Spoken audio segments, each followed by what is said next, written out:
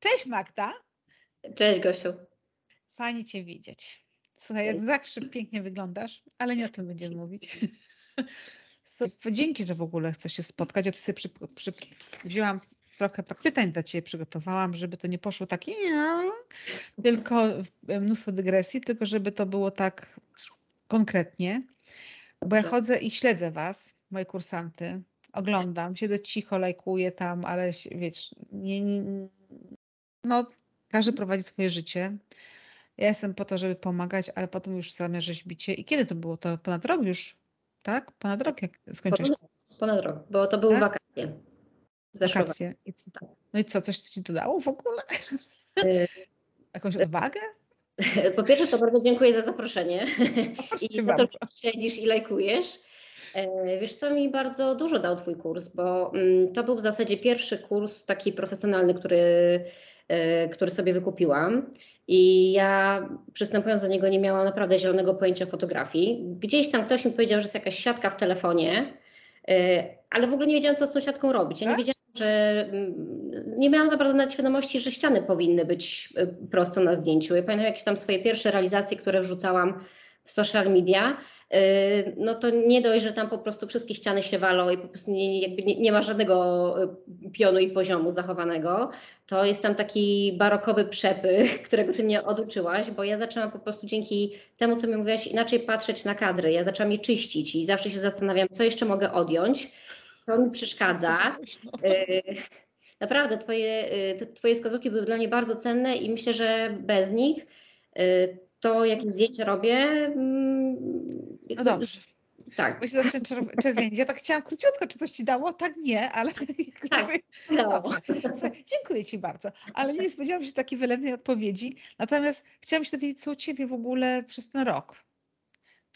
E, od, tego, od tego momentu, kiedy już tak naprawdę skończyłyśmy, zrobiłaś yy, pierwszą swoją sesję, dostałaś certyfikat. Tak. No, tak. E, zrobiłaś i, i co teraz? I co się dzieje w ogóle? Opowiadaj. Przez rok zadziało się bardzo dużo, bo dostałam między innymi dofinansowanie z Urzędu Pracy na rozpoczęcie działalności gospodarczej, no i to mi dało takiego potężnego kopa. Mogłam sobie zbudować e, taki dosyć obszerny magazyn. E, to była jedna z takich ważniejszych rzeczy przez ostatni rok, którymi się zajmowałam, żeby rzeczywiście dobrze spożytkować e, pieniądze, które dostałam. Bardzo intensywnie rozwijałam moje media społecznościowe, szukałam klientów i rozwijałam się w homestagingu i w innych dziedzinach. Wow, fajnie. Czyli, ma, czyli po prostu busy. Bardzo tak busy. Wypełniony czas, tak. pożytecznie. Tak. Szczerze mówiąc, nie sądziłam, że rozwijanie firmy jest aż tak czasochłonne. Wydawało mi się, że firma się otwiera i firma działa. Działa. A, a potem się okazało, że y, jeśli jest się jednoosobową działalnością gospodarczą, to naprawdę trzeba bardzo dużo rzeczy się nauczyć lub jeśli ma się pieniądze, to komuś zlecić. No ale wiadomo, jak to jest na początku, każdy tnie koszty, próbuje jakoś tam sobie samemu radzić, więc y, wymaga to mnóstwo czasu, bo trzeba się nauczyć wielu rzeczy. Mhm. No bo to jest biznes, to nie jest hobby, prawda? To jest... Mm. Homestaging tak wygląda, że to może być fajne hobby, ale to nie jest hobby, to jest twardy biznes. To się musi wszystko spinać. Excel musi się zgadzać. Można to uprawiać hobbystycznie, to nie, nie ma przeciwwskazań, ale jeśli ktoś chce na tym zarabiać, to, to musi poświęcić na to czas y, i musi mieć też czas na rozwijanie swojej firmy. Bo jedna rzecz to jest robienie homestagingu, a druga rzecz to jest na przykład zdobywanie zleceń, obrabianie zdjęć potem po, po homestagingu, dbanie o swoje social media. To wszystko zajmuje czas i konsumuje energię. No tak. O matko. E, powiedz mi, a ty masz tylko social media, czy też masz e, stronę internetową jakąś? Mam stronę internetową. Ona może nie hula aż tak jak media społecznościowe, tam wrzucam rzadziej, e, ale staram się przynajmniej od jakiegoś czasu publikować w miarę regularnie. Tam jest blog, na który wrzucam artykuły. Natomiast to już jest taka troszeczkę bardziej czasochłonna czynność, stworzenie takiego wpisu na bloga, więc zdecydowanie idzie mi to gorzej. No ale strona internetowa jest bardzo fajnym, fajną, fajnym narzędziem, bo social media mogą być i mogą nie być, tak. a strona internetowa, czy lista mailingowa, czy takie rzeczy poza social mediami są bardzo ważne, żeby je utrzymywać i poświęcać tam czas. Tak. To jest takie nasze portfolio, takie, takie może nie główne, bo wszyscy się rzuci na social media, ale, ale wiem z doświadczenia, że każdy chce zobaczyć moją stronę internetową, jak mhm. rozmawiam. Pierwsza rzecz, yy, pytają, tak? Nie tak, pytają, czy Instagrama, tylko czy masz stronę internetową. Tak, więc... tak, bo tam jest i adres, i wszystko, i twoje zdjęcia, które można sobie powiększyć na, na ekranie i tak dalej. To jest takim spokojniejszym medium, prawda? Takim bardziej kontemplacyjnym, ja to nazywam. Wydaje mi się, że coś, co nas reprezentuje, dlatego dobrze jest stworzyć taką stronę, która rzeczywiście będzie oddawała mhm. nasz charakter, charakter tego, co robimy i będzie taką naszą wizytówką, więc e, jeśli mogę coś doradzić, to żeby rzeczywiście poświęcić e, czas na dopracowanie tej strony, nie wrzucać byle czego, bo to też świadczy o nas i jeśli chcemy jakiś wizerunek w sieci budować, to ta strona powinna być tak dopracowana. No dobra, to sobie przejdziemy w stronę internetową teraz. Bo social no. media, tego, zaraz wrócimy do social mediów. I mam takie pytanie, czy na zdjęcia, czy zdjęcia, jak już po tym kursie byłaś u mnie, to sobie zrobiłaś sama na tą stronę internetową, tą pierwszą sesję twoją? Nie. Tutaj akurat zdecydowałam się y, na wynajęcie fotografa, bo mhm. bardzo zależało, żeby ta pierwsza y, sesja mm, była taka naprawdę wow, żeby, żeby była moją prawdziwą wizytówką i nie chciałam sobie pozwolić na jakieś niedociągnięcia. Chciałam po prostu, żeby ktoś zrobił te zdjęcia w sposób super profesjonalny i dlatego zainwestowałam nawet e, w trochę droższego fotografa, ale takiego, który nie obstrykał mieszkania w 15 minut, tylko rzeczywiście poświęcił kilka godzin, e, mhm. żeby też detale wyciągnąć z tych mojej stylizacji, żeby tam rzeczywiście znalazło się takie naprawdę mięso i same najfajniejsze kadry. Mhm. A powiedz, ile taki fotograf kosztuje? To jakby rozpiętość jest duża, ale mhm. w Warszawie to jest tak mniej więcej od 300 zł w górę. Za taką sesję super hiper? Nie, nie, za taką zwyczajną sesję. 15-minutową dokumentację, trzystówki w Warszawie? Ale no czad. więcej. No to też jakby pewnie zależy jakiej fotografii, jak się mm, dogadamy, tak? No ale tak z moich obserwacji wynika, że to jest około 300 zł. A jeżeli na przykład bierzesz kogoś tak e, na, na taką grubszą robotę, taką jak ty miałaś, to ile to kosztuje? Dwa razy więcej i w górę. To już zależy. Od 600 w górę. Wydaje mi się, że za pracę, którą wykonał ten fotograf, zarówno podczas sesji, jak i podczas obróbki, że to jest naprawdę taka y, bardzo rozsądna cena. Nawet nie wiem, czy nie za niska. Okej. No ale wyobraź sobie, że bierzesz do każdej swojej realizacji takiego fotografa. Chętnie, ale chyba jeszcze nie mam takich funduszy. Zresztą też nie wiem, czy, czy, czy potrzebuję. Ja, ja też mm, ja sama robię zdjęcia po każdej realizacji, bo potrzebuję troszeczkę innych zdjęć niż robią je fotografowie wynajęci przez agencję albo przez właściciela, tak? Bo innych zdjęć, e, inne zdjęcia są potrzebne na portale ogłoszeniowe, Mhm. Troszeczkę inaczej ten kadr powinien wyglądać, a co innego chcę pokazywać y, u siebie na Instagramie, bo tam przede wszystkim powinna być widoczna moja stylizacja, niekoniecznie jakby to, jak wygląda dane pomieszczenie w całości. Tak? Bo nie, nie zależy mi na szerokim kadrze, bo wtedy mało widać z tego, co ja zrobiłam. Zależy mi na tym, żeby uchwycić te detale, bo, bo one jakby świadczą o mojej pracy.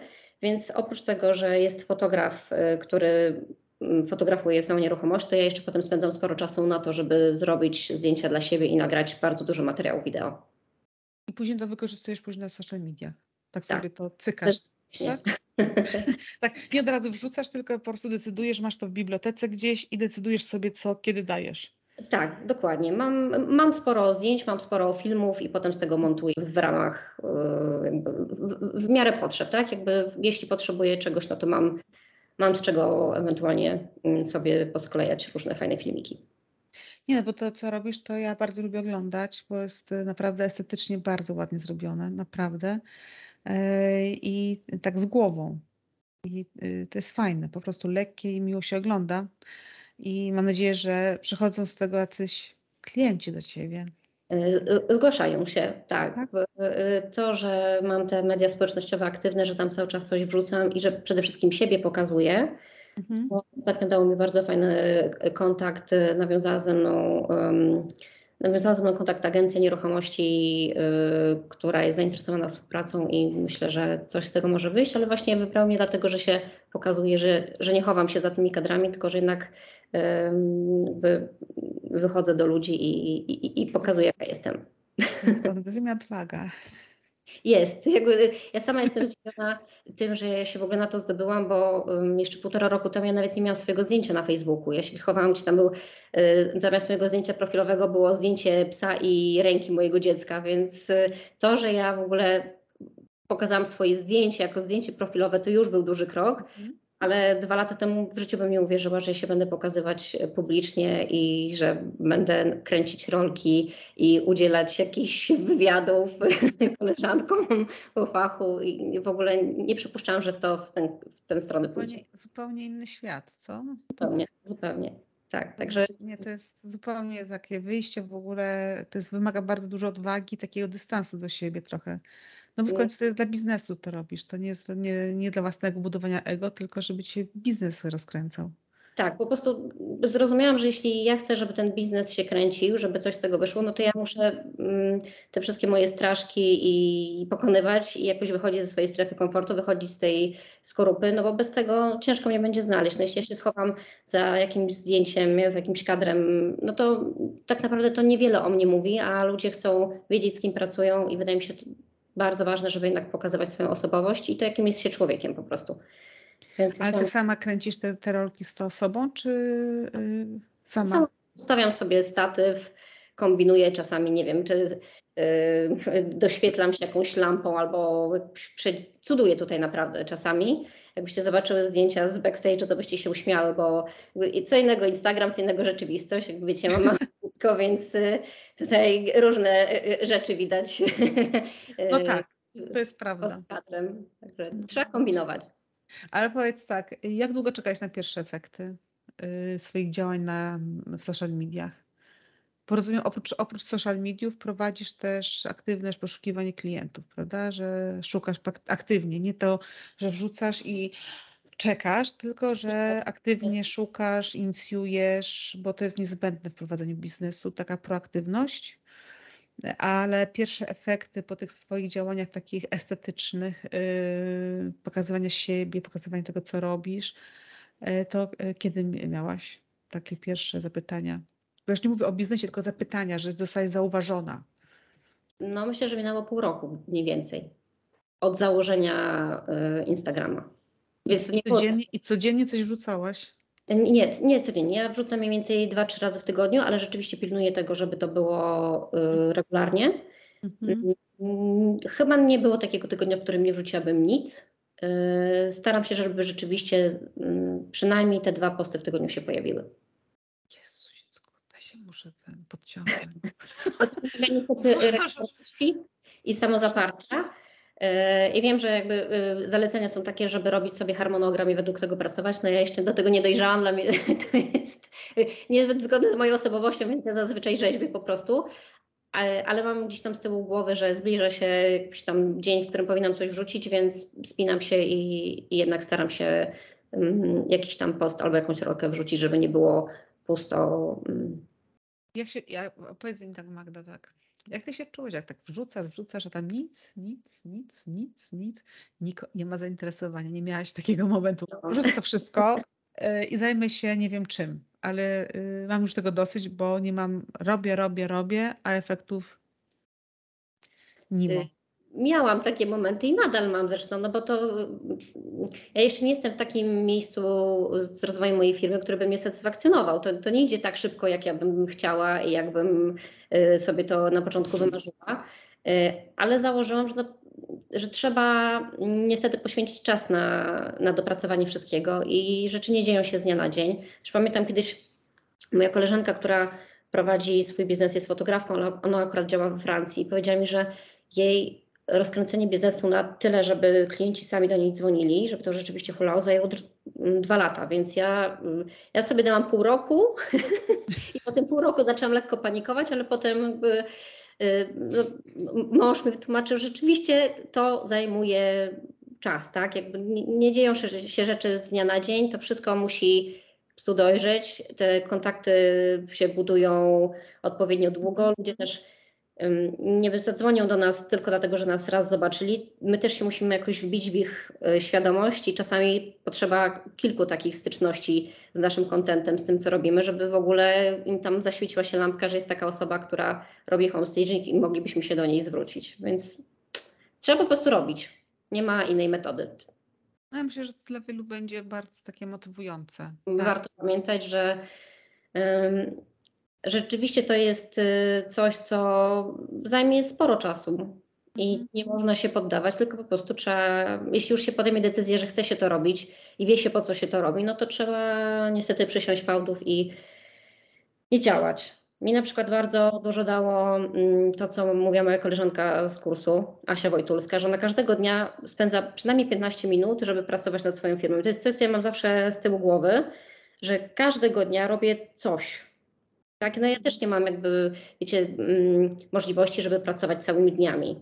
Mhm. Czasami jest tego czasu trochę więcej, czasami jest go trochę mniej, ale pamiętam, żeby zawsze przynajmniej te 15 minut poświęcić i zrobić coś, nie wiem, pomyśleć nad strategią, przygotować jakąś rolkę, poczytać jakąś książkę związaną z rozwojem biznesu, wysłuchać jakiegoś webinaru. Nie, nie tracić czasu na, na pierdoły, tylko starać się jak najwięcej się dowiedzieć i cały czas coś robić. Mhm. O fajnie. Fajnie, że powiedziałaś o Aś- Aśce, bo dla mnie ona też jest takim wzorem, bo też yy, tak yy, Gośka 15 minut codziennie coś dla biznesu. Tak, I pamiętajmy, to jest dla biznesu, to jest dla czegoś, co mam nam przynosić zyski, bo biznes to jest fajnie, jak robimy to, co lubimy, ale biznes to jest przede wszystkim zarabianie pieniędzy, a nasz biznes też potrzebuje pieniędzy do rozwoju. Tak. E, I ja byłam w takiej sytuacji, że moja pasja była wręcz wykorzystywana, e, bo ja tak kocham robić zdjęcia, że zaniżałam ceny. Muszę to powiedzieć, więc dziewczyny, nie róbcie tego. No, także fajnie, fajnie. Bardzo fajnie, że sobie wykorzystujesz zdjęcia. Sama sobie robisz. Oj, się cieszę. To jest bardzo ważny element i y, bardzo pilnuję tego, żeby jednak po realizacji mieć jeszcze chociaż trochę siły na to, żeby zrobić zdjęcia. Natomiast to nie są takie zdjęcia pewnie, które ja bym mogła zrobić dla klienta, bo już jestem tak wykończona, że, byłoby mi ciężko mm, jakoś y, pewnie z jakością. mm, Nie wiem, czy udałoby mi się osiągnąć Musiałbyś mieć osobny dzień na to, żeby zrobić zdjęcia tak dla Tak. klienta. Po, po zrobieniu homestagingu trzeba troszeczkę odpocząć, bo to jest ciężka praca fiz- fizyczna. Ja widzę dziewczyny, że wy tam harujecie jak robotnik na, na ulicy, tak? Tak. Te, te wory, te, zaszczenie tego, układanie.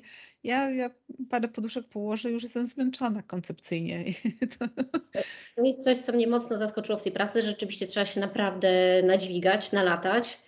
Yy, I to nie jest yy, praca taka, która polega tylko na wyglądaniu pięknie i dokładaniu jednej poduszki i takiego wygładzania zasłon do, do kadru. Nie, to naprawdę yy, trzeba mieć dużo krzepy, żeby yy, to wszystko zanieść, rozłożyć i potem z powrotem złożyć i, i poddawać. I mieć, no to wszystko zajmuje i, i czas, i, i dużo energii. Ewentualnie asystenta.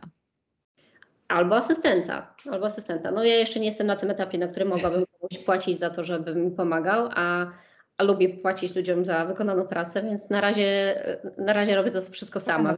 Na przykład e, robię jakieś zdjęcia dla siebie na, na sociale, no to nalatam się między, między tym obiektem, który fotografuję, a, a statywem i, i to jest tam pewnie z kilometra albo dwa, zanim ustawię taki kadr, jak, jak bym chciała, bo ty mi nauczyłaś tam wszystko wyczyścić, tutaj odsunąć, tutaj powietrze zrobić, tutaj negatywna przestrzeń.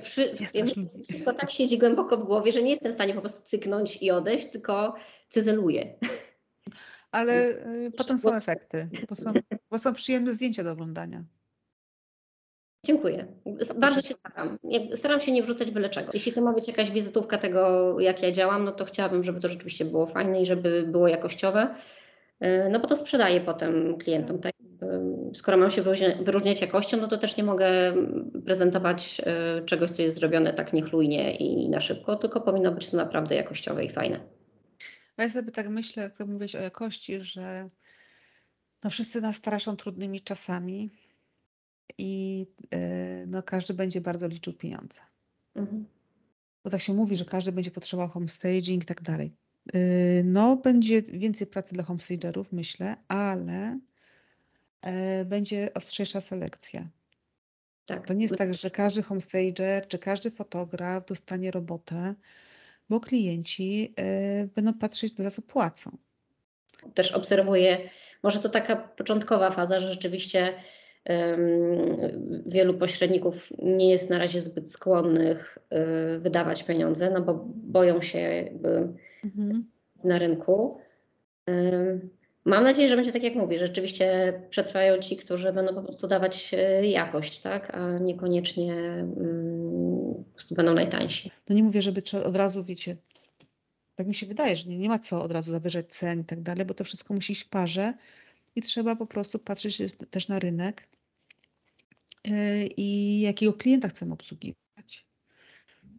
No też bo... trzeba pamiętać o tym, jakby ile czasu nam to zajmuje, tak? I, i czy rzeczywiście nam się to opłaca, bo no to nie jest tak, że to, mm, przynajmniej w moim przypadku, staging nie polega tylko na tym, że biorę po prostu przypadkowe przedmioty ze swojego magazynu i je rozrzucam, yy, tylko ja mhm. naprawdę kilka godzin myślę nad koncepcją, dokupuję różne, potem sam proces stylizacji, potem jeszcze muszę to wszystko zabrać, y, oddać do sklepów albo z powrotem zawieźć do magazynu. Jakby, no to, to wszystko zajmuje czas, tak? I to trzeba też sobie skalkulować, czy rzeczywiście, no nie wiem, te, te 300 czy 500 zł za stylizację, czy w takim wydaniu, w jakim na przykład ja bym chciała je robić, no to czy to by się w ogóle opłacało, tak? Bo nie robię zdjęć komercyjnie, tak? Jakby robię je dla siebie, ale jeśli przychodzi fotograf na sesję, to ja wiem, czego ja mam od niego wymagać. Ja ja od razu mu mówię, słuchaj, ja będę stała za tobą i ci chuchała w ucho, bo ja chcę wiedzieć, co ty masz w kadrze, tak? I straszna jesteś. Jestem straszna, ale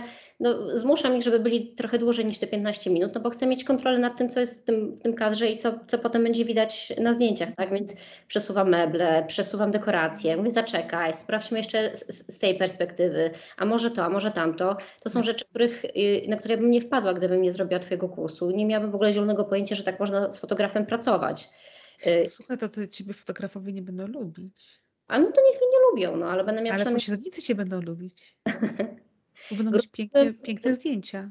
Grunt, żebym ja miała ładne zdjęcie i że miała co pokazywać. A czy oni mnie będą lubić, to jest kwestia wtórna. Nie, żartuję, jestem bardzo miłym człowiekiem, ja, ja tam jakoś nie, nie jestem jędzą dla nich i, nie stoję z batem, ale rzeczywiście sugeruję jakieś rozwiązania, które myślę, że fajnie będą wyglądały w kadrze, bo jemu też powinno zależeć na tym, żeby to wyglądało dobrze i żeby miał się czym pochwalić. Tak? A skoro ja wiem, że trzeba na przykład odsunąć jakiś mebel od ściany, bo trzeba tam dać trochę powietrza, bo mi góra powiedziała, że to nie może być takie przyklejone, tylko trzeba trochę odsunąć, no to czemu mam nie powiedzieć?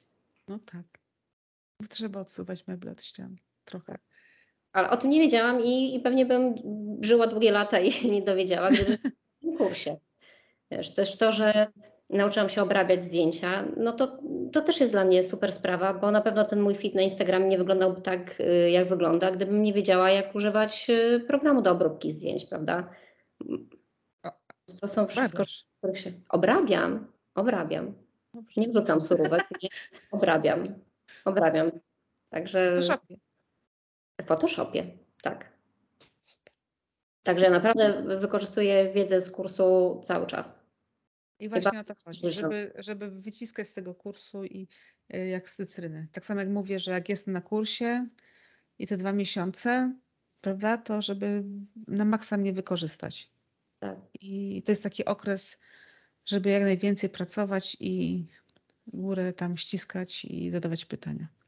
To jest taki dla mnie no, zawsze taki boję się tego okresu, takiego czym przyjdą. Myślę, że im więcej jakby poświęcimy czasu na robienie zdjęć podczas tego kursu, tym, tym lepsze efekty będziemy mieć. No niestety samo nic się nie zrobi i jeśli tylko wykupimy kurs, no to niestety nie nauczysz robić zdjęć, tak?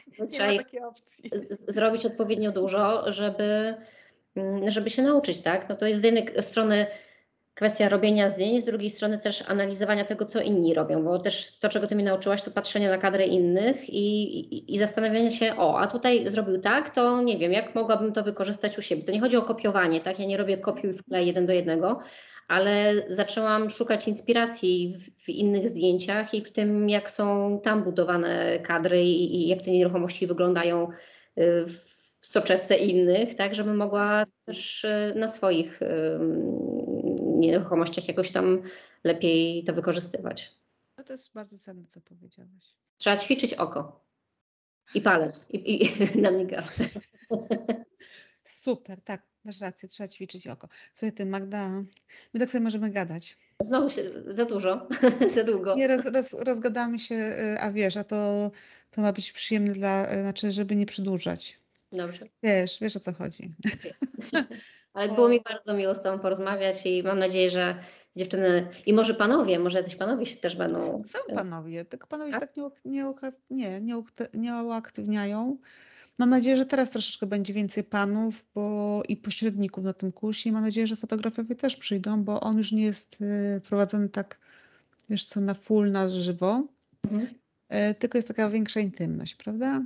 I e, każdy może pracować w swoim tempie, e, ale też jest czas na oglądanie zdjęć, na rozmowy na temat zdjęć. Każdy ma szansę, żeby, żeby po prostu pogadać na, jego zdjęć, na temat jego zdjęć. Także ta, ten element kursu zawsze będzie, bo to jest najważniejsze, mi się wydaje, e, żeby gadać po prostu i analizować. Nie gadać o byle czym, tylko analizować po prostu konkretne przykłady i rozbierać zdjęcie na części pierwsze.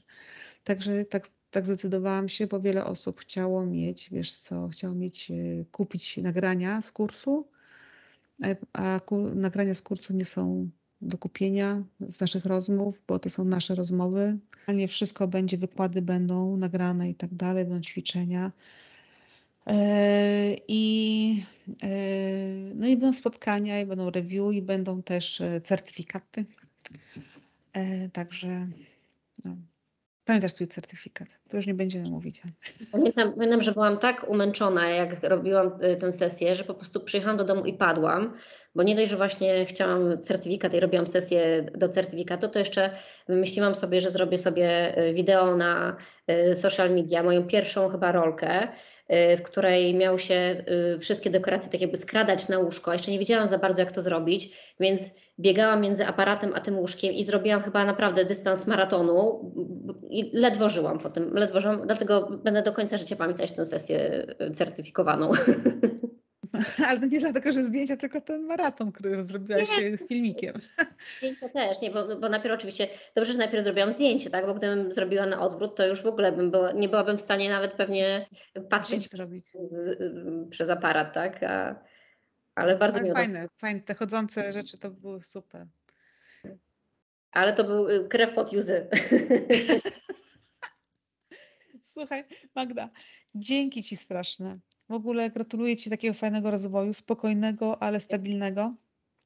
Życzę Ci wielu fajnych klientów, takich, którzy Tobie będą pasować, którzy, którym Ty będziesz pasować, którzy będą chcieli y, zapłacić za Twoją pracę y, satysfakcjonującą y, garzę, tak ładnie powiedziałam, garzę. I takiego rozwoju skrzydeł Ci życzę. Takiego, wiesz, Dziękuję żebyś się po prostu wymiatała tam, gdzie, gdzie chcesz. Dziękuję. Gdziekolwiek, cokolwiek sobie zażyczysz, żeby się spełniło. A ja Ci dziękuję za zaproszenie i dziękuję wszystkim, którzy poświęcili czas, żeby obejrzeć e, naszą rozmowę. Mam nadzieję, że coś dla siebie z niej wyciągną, że, tak. że będzie to dla nich wartościowe i że skorzystają z Twojego kursu, bo naprawdę warto. Ja jestem przykładem tego, że naprawdę można się na nim bardzo wiele nauczyć i potem wykorzystywać do swojej pracy. Dziękuję, bo, bo celem jest inspirowanie i motywowanie raczej do tego, żeby nie odpuszczać, prawda? Nie można, nie można odpuszczać, nie można się poddawać.